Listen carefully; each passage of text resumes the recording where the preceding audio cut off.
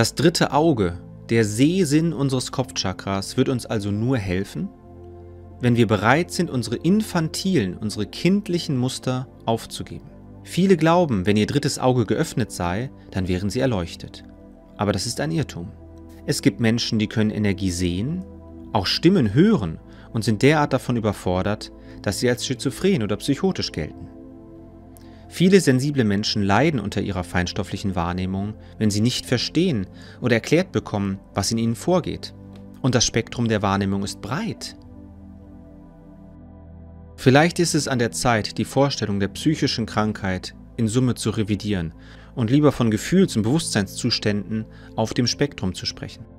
Hören wir auf, uns gegenseitig zu stigmatisieren und Etiketten auf Menschen zu kleben, die einfach eine andere Wahrnehmung haben als wir.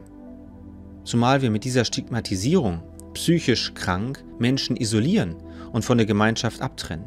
Ich könnte überspitzt formulieren, psychisch krank ist jeder allein und er ist auch für sich selbst verantwortlich.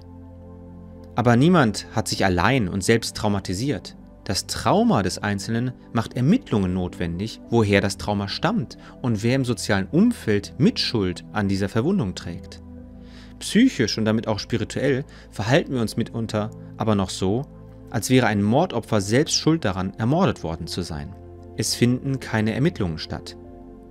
Wen wundert es da, dass Mord und Totschlag an der Tagesordnung stehen?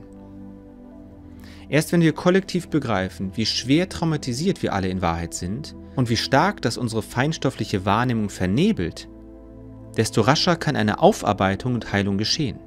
Dafür müssen wir alle die drei Phasen durchlaufen aus Suche, Erkenntnis und Reinigung. Diese drei Phasen bilden einen Kreislauf. Wir reinigen dabei nicht nur die Sinne, wir filtern auch alle störenden Signale aus. Die Reinigung des Sinnesreizes muss auch als Freilegung, als Selektion betrachtet werden. Der Hund wittert aus Abermillionen Duftstoffen den Duftcocktail heraus, den er suchen will und erkannt hat. So geht Suchen, Erkennen und die Selbstkorrektur der Sinnesreize ineinander über. Der Kreislauf schließt sich wie ein Motor, der läuft, bis das Ziel erreicht ist.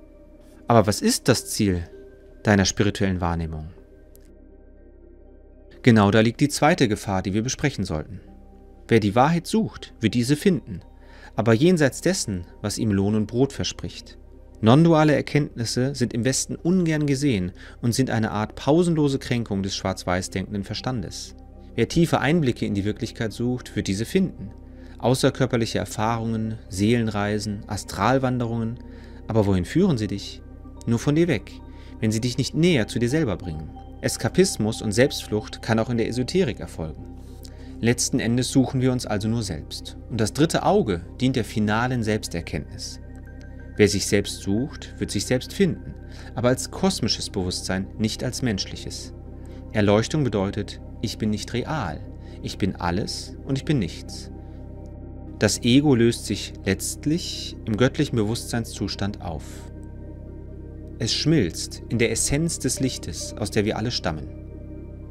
All das vorausgeschickt können wir uns der feinstofflichen Wahrnehmung der Chakren und Auras widmen. Wie trainiere ich mein drittes Auge? Wenn du deine Augen schließt, siehst du zunächst einmal dein eigenes Kopfchakra, blau oder eben grau-schwarz. Das menschliche Bewusstsein ist im Kopf verortet. Das heißt, wir sind mit unseren Gedanken identifiziert und glauben uns leider alles, was wir denken. Ein großer Fehler. Schließe jetzt deine Augen und beschreibe dir alles, was du siehst, egal wie klein, egal wie banal es dir erscheint. Schreibe es auf, male es auf. Im schlimmsten Fall hast du einen Schwarz-Weiß-Fernseher. Dein Kopfchakra ist also grau und nicht auf Empfang. Alles, was du siehst, ist dann ein schwarz-weißes Rauschen. Die Menschen sagen dann immer, ich sehe nichts. Ziemlich frustrierend. Kein Wunder, wenn es da schwerfällt, an die eigene Hellsichtigkeit zu glauben. Also konzentriere dich, aber entspanne zugleich deinen Körper. Lass die Spannung einfach abfließen. Mach zur Not auch eine kleine Meditation. Jetzt stell dir bitte eine rote Rose vor. Stell dir vor, du siehst eine rote Rose mit dicken, schönen roten Blütenblättern. Kannst du sie sehen? Zoome in die rote Rose hinein. Mach sie so groß, wie du nur kannst. Beschreibe sie dir selbst. Wenn du sie malen müsstest, wie würdest du sie sehen?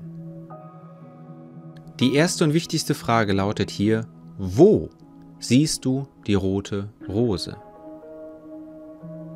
Siehst du sie wie hinter dir oder links von dir oder rechts vor dir?